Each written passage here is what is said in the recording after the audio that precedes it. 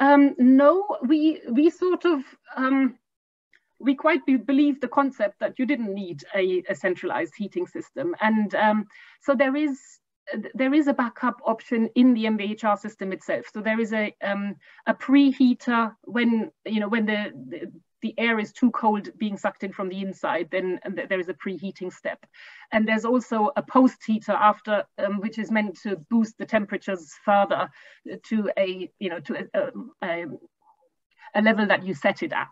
So we could, in principle, have driven up the temperature through the MVHR system. So in the first winter, I don't think we quite understood how the system worked fully and didn't play around with these factors too much um, and only later out uh, later on found out ah yeah actually there's there's more wiggle room that we could have explored with with this you know mini um, post heater system within the MVHR. Um, but as I said, you know, we'd actually we didn't want the whole house to be the same temperature, and um, yeah, and even with those small electric heaters, uh, the um, yeah the overall energy bills are yeah are, are very acceptable. Um, very impressive, I think. I mean, we do have we do have a lot of, you know, I put layers on in winter rather than cranking the heating up.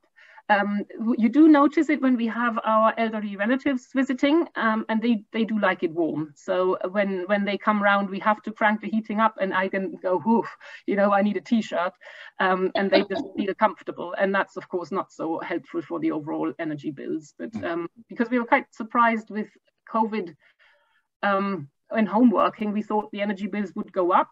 But mm. when I checked uh, in preparation for this talk, what was actually the difference between this year and last year, um, it, it, was actually slightly lower. And I think it might have been because nobody was allowed to travel and we couldn't have our relatives here.